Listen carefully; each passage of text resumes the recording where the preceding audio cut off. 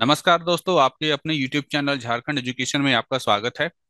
आज हम लोग कक्षा 10 सामाजिक विज्ञान का मॉडल क्वेश्चन पेपर का सॉल्यूशन देखेंगे। ये पिछले वर्ष 2021-2022 का मॉडल क्वेश्चन पेपर है, टर्म वन का। और हम लोग टर्म वन का यानी पिछले साल का मॉडल क्वेश्चन पेपर का सॉल्यूशन क्यों कर रहे हैं? क्योंकि अभी तक आपके इस साल का मॉडल क्वेश्चन पेपर नहीं आया है। आप लोग पिछले साल के जो मॉडल क्वेश्चन पेपर है, अगर आप उसकी प्रैक्टिस कर लेते हैं तो ये भी आपके लिए काफ़ी इंपॉर्टेंट है, क्योंकि ये क्वेश्चंस भी आपके एग्ज़ाम में आ सकते हैं। पिछले साल जो मॉडल क्वेश्चन पेपर आया था कक्षा दस का, उसमें टोटल चालीस प्रश्न थे। सारे प्रश्न का आपको उत्तर देना था, सभी प्रश्न एक अंक का था, और किसी भी गलत उत्तर के लिए कोई अंक नहीं काटा जाना था। समय आपको मिला था डेढ़ घंटे, और जो पूर्णांक था वो था आपका चालीस अंक। आइए सबसे पहले हम लोग पहला प्रश्न देखते हैं। सबसे पहला प्रश्न है, फ्रांस की क्रांति कब हुई? इसका सही उत्तर होगा सत्रह नवासी। दूसरा क्वेश्चन सामाजिक उपबंध। यहाँ पर सामाजिक लिखना चाहिए था। सामाजिक उपबंध यानी सामाजिक उपबंध सोशल कॉन्ट्रैक्ट नामक पुस्तक का लेखक कौन था? इसका सही उत्तर होगा रूसो। प्रश्न संख्या तीन, यंग इटली सोसाइटी की स्थापना किसने की थी? इसका उत्तर होगा मिजनी। प्रश्न संख्या चार, इटली का एकीकरण कब पूरा हुआ था? इसका सही उत्तर होगा। प्रश्न संख्या पाँच, शुल्क संघ, जॉल वेरालाइन की स्थापना किसकी पहल पर की गई थी? इसका सही उत्तर होगा आपका प्रशा। प्रश्न संख्या छह जालियावाला बाग हत्याकांड कब हुआ था? बहुत इंपॉर्टेंट क्वेश्चन है। इसका सही उत्तर होगा तेरह अप्रैल 1919 प्रश्न संख्या सात, हिंद स्वराज नामक पुस्तक की रचना किसने की थी? इसका सही उत्तर होगा महात्मा गांधी। प्रश्न संख्या आठ, स्वराज हमारा जन्मसिद्ध अधिकार है और हम इसे लेकर रहेंगे, यह किसने कहा था? इसका सही उत्तर होगा बाल गंगाधर तिलक। प्रश्न संख्या नौ, ब्रिटिश सरकार ने कैसर ए हिंद की उपाधि से किसे सम्मानित किया था? इसका सही उत्तर होगा महात्मा गांधी।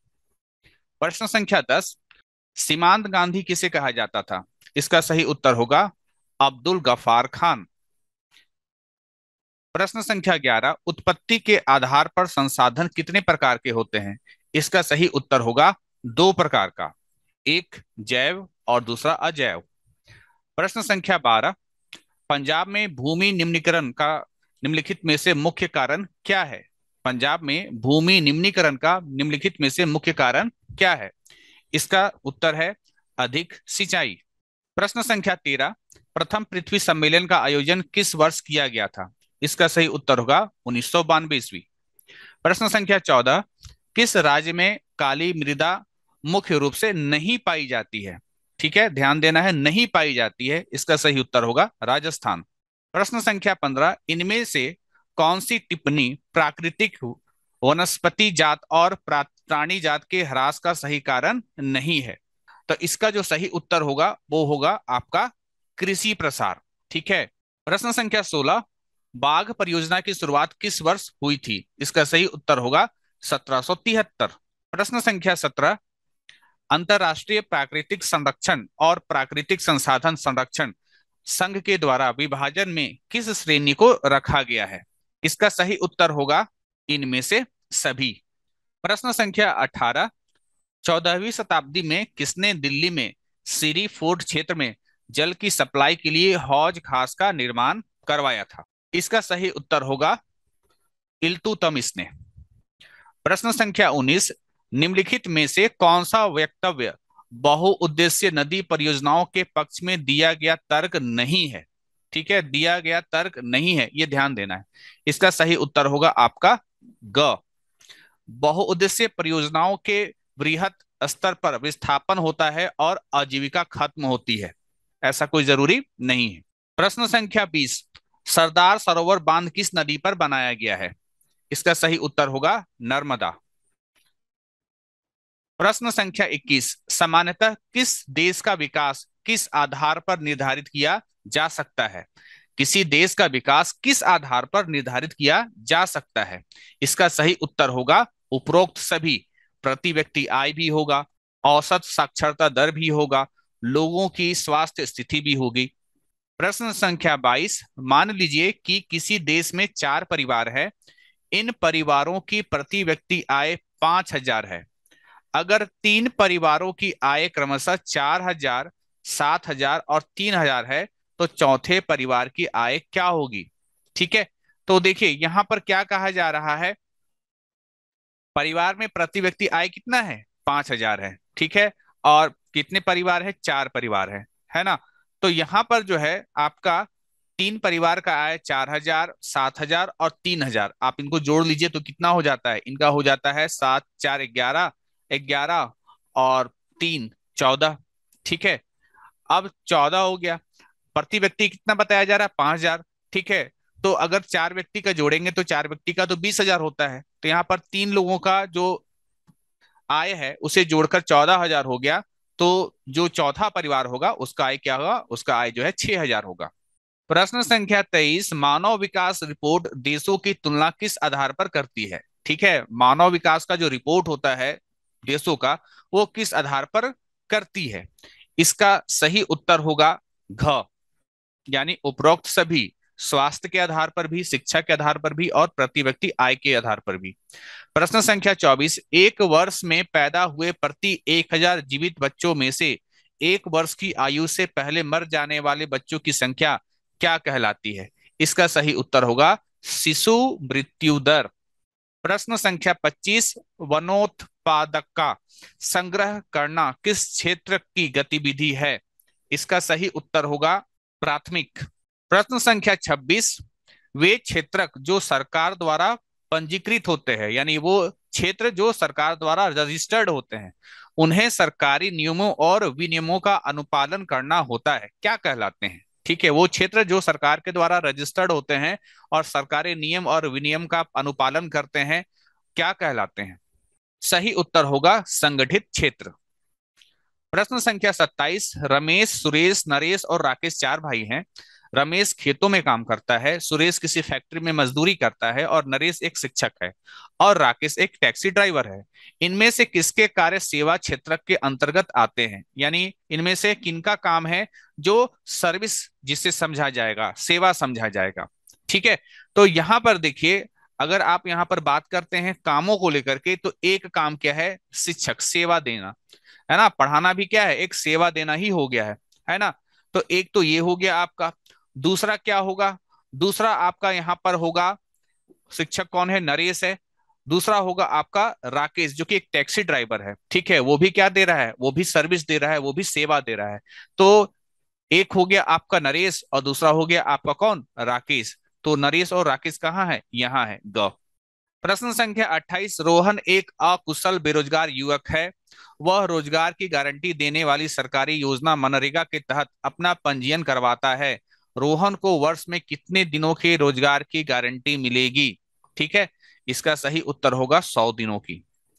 प्रश्न संख्या 29 एक खेत में लक्ष्मण और उसके परिवार के चार व्यक्ति काम करते हैं, जिसमें सालाना 20 क्विंटल गेहूँ का उत्पादन होता है। ठीक है, ध्यान से अब देखिए, लक्ष्मण का परिवार है, चार व्यक्ति काम करते हैं, सालाना 20 क्विंटल गेहूँ का उत्पादन होता है। लक्ष्मण के चचेरे भाई करण ने एक वर्ष तक लक्ष्मण और उसके परिवार है ना? और उसके परिवार साथ मिलकर कार्य किया, किंतु उस वर्ष कुल उत्पादन में कोई वृद्धि नहीं हुई। करण की परिस्थिति को किस श्रेणी में रखा जाएगा? ठीक है? तो देखिए, यहाँ पर अगर हम लोग कहें कि ये जो स्थिति उत्पन्न हुआ, इसको क्या कहा जाएगा? तो इसे हम लोग यहाँ पर क्या कहेंगे? इसे हम लोग यहाँ पर कहेंगे प्रच्छन्न बेरोजगारी। ठीक है? प्रच्छन्न बेरोजगारी। काम तो किए, लेकिन उत्पादन में कोई वृद्धि नहीं हुआ। ठीक है? प्रश्न संख्या तीस, अर्थव्यवस्था में प्रत्येक क्षेत्र के अंतिम उत्पाद की ही गणना क्यों की जाती है? इसका सही उत्तर होगा आपका दोहरी गणना की समस्या से बचने के लिए। प्रश्न संख्या इकतीस, सत्ता की साझेदारी के संबंध में निम्न में कौन सा कथन असत्य है? है ना? सत्ता जो सरकार है है ना? सत्ता की साझेदारी के संबंध में कौन सा कथन असत्य है? इसका सही उत्तर होगा यह अस्थिरता एवं आपसी फूट को बढ़ाती है। नहीं है। ठीक है, ये कथन असत्य है है ना? प्रश्न संख्या बत्तीस, निम्न में कौन बेल्जियम का एक भाषाई समूह नहीं है? ठीक है, नहीं है तो होगा स्पेनिश। प्रश्न संख्या तैतीस, स्वतंत्र राष्ट्र बनने के बाद श्रीलंका में किसे राजभाषा घोषित किया गया? ठीक है, किसे राजभाषा घोषित किया गया? ठीक है तो इसका जो सही उत्तर होगा घ सिंगली। प्रश्न संख्या चौतीस, श्रीलंका स्वतंत्र राष्ट्र कब बना? ठीक है, स्वतंत्र राष्ट्र कब बना? इसका उत्तर होगा 1948 प्रश्न संख्या 35 निम्न में कौन संघवाद की एक विशेषता नहीं है? ठीक है, इसका सही उत्तर होगा, विभिन्न स्तरों की सरकारों के अधिकार क्षेत्र संविधान में स्पष्ट रूप से वर्णित नहीं होते हैं। ठीक है प्रश्न संख्या 36 निम्न में कौन भारत की अनुसूचित भाषा के रूप में शामिल नहीं है? ठीक है? तो इसका जो सही उत्तर होगा, वो होगा आपका अरबी। प्रश्न संख्या सैंतीस, निम्न में कौन सुमेलित नहीं है? यानी मैच नहीं कर रहा है। ठीक है? एकदम अलग है। आपको ये बताना है। ठीक है? तो यहाँ पर जो होगा, वो होगा स्थानीय सरकार अवशिष्ट अधिकार। बाकी जो चीज़ें हैं, वो जो है, वो तो मिलता जुलता है है ना? उसमें आपस में संबंध है। जैसे राज्य सरकार का राज्य सूची केंद्र केंद्र सरकार का संघीय सूची होता है। केंद्र और राज्य सरकार के बीच जो होती है, उसको हम लोग समवर्ती सूची बोलते हैं। ठीक है? तो ये जो घ नंबर है, ये एकदम हट करके है। प्रश्न संख्या अड़तीस, भारत में विकेंद्रीकरण के संबंध में कौन सत्य है? ठीक है? तो इसका जो सही उत्तर होगा, वो होगा ख। कि वास्तविक विकेंद्रीकरण की दिशा में एक बड़ा कदम उन्नीस बानवे में उठाया गया। ठीक है, ये सत्य है। प्रश्न संख्या उनचालीस, निम्न में कौन सुमेलित नहीं है? ठीक है, कौन सा चीज़ है जो कि भिन्न है इन चारों में से? तो इसका जो सही उत्तर होगा, वो होगा घ, दबाव समूह। राजनीति में सीधे भाग लेते हैं। ठीक है, ये दबाव समूह राजनीति में सीधे भाग थोड़ी लेते हैं। जो भी विरोध होता है विरोधी विरोधी दल होता है, वो राजनीति में कहाँ भाग लेता है? प्रश्न संख्या चालीस, निम्न में कौन सुमेलित नहीं है? ठीक है, सुमेलित नहीं है। इसका होगा ख, खाद विक्रेताओं का संघ और दबाव समूह, ठीक है, ये सुमेलित नहीं है। तो हम लोग मिलेंगे अगले वीडियो में, जहाँ पर हम लोग सेट टू का सॉल्यूशन करेंगे। तब तक के लिए धन्यवाद।